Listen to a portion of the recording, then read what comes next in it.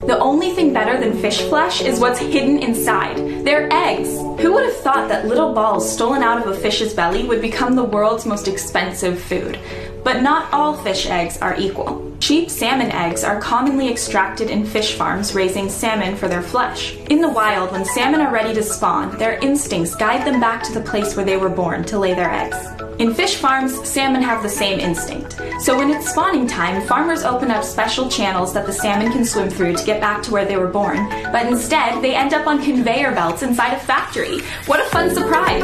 In the factory, workers slice open the bellies of the salmon and scoop out their eggs. After the salmon's reproductive organs are used, then the rest of their bodies can be used too. Their carcasses are sent off to be sold on store shelves. Except for Atlantic salmon. This species can spawn five times in their lifetime, so farmers get more caviar if they keep them alive. Instead of slicing them open, workers simply stick a knife into the fish's genital opening with no pain relief. And yes, fish feel pain, and then squeeze her eggs out of that little hole. And then throw her back in her underwater cell until the next spawning season. It sounds pretty gross, I know, but don't worry, they sterilize the knife so the eggs are clean. Plus, they add antiseptics to the caviar anyways to prevent the growth of pathogens. The disinfectant.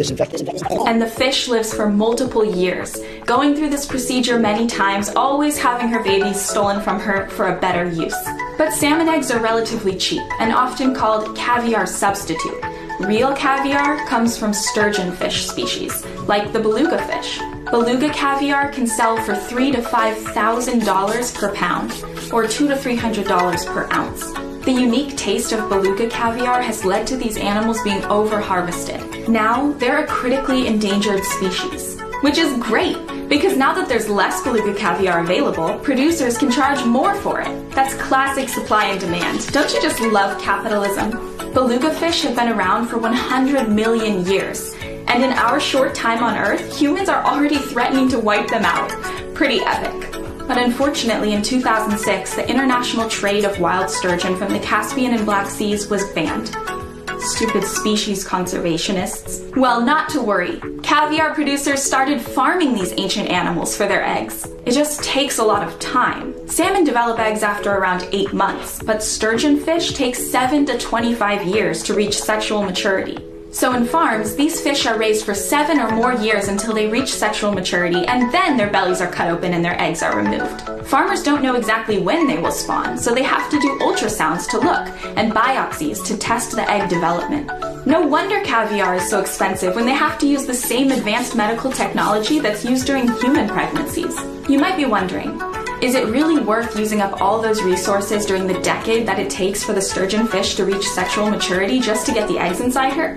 Of course it is! Like a Rolex or Jimmy Choo's, caviar is a sign of wealth. It even sounds fancy. Caviar. The most expensive food on the planet is almas caviar, which comes from a 100 year old albino beluga sturgeon. Can you imagine killing a fish older than your grandma for her eggs? So cool. They say as the sturgeon gets older, her eggs are more elegant and delicious. Mmm, it isn't just fish eggs though. People around the world also enjoy eating fish sperm, also called male fish roe or soft roe. You get that yummy fish taste with the delightful consistency of custard. Mmm. Třeboň, a town in the Czech Republic, calls itself the world capital of fried fish sperm. That would be impressive, but there's not that much competition. Well, whatever kind you can afford, I hope you try some fish ova or sperm. It's a great source of omega-3s, though fish don't actually produce omega-3, they get it from seaweed and algae. Humans can get omega-3 from seaweed or algae directly, but that's just less fancy than ripping open animals' bellies and stealing their ova. Let me know what cool cruel products you want me to review next.